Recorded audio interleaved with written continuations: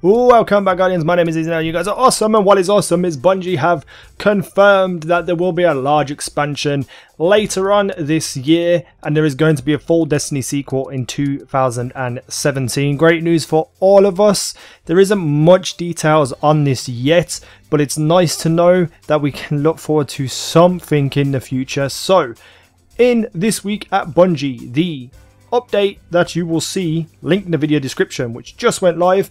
We have Deej talking about various things, but mainly it says prior to the holiday break, we mentioned a second larger update slated for spring.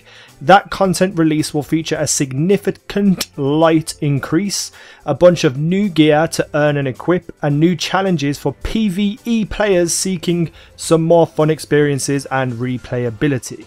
Beyond that, the team is focused on delivering a large expansion later this year and a full Destiny sequel in 2017.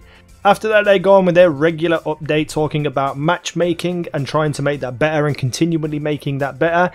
And then some changes that came with the Crimson event talking about bounties and the Crimson bounties have replaced the weekly Crucible bounties and the Crimson and Sugary Ghost Shells will not display when previewed in character inventory. These Ghost Shells will appear correctly when equipped and summoned in game. The Crimson Connection buff granted by Crimson Candy does not stack with weapon telemetries.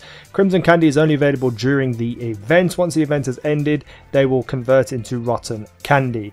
Um, so yeah, that's pretty much the update that they've done. A very small one, but a very specifically amazing one for all of us PvE people and YouTubers and gamers and fans alike. We have hope. We have something coming in the future before the Destiny sequel. I am so happy. Let me know what you think in the comment section below. Hit the like button if you wish to. Subscribe if you haven't already, and I'll see you in the next video. Yeah.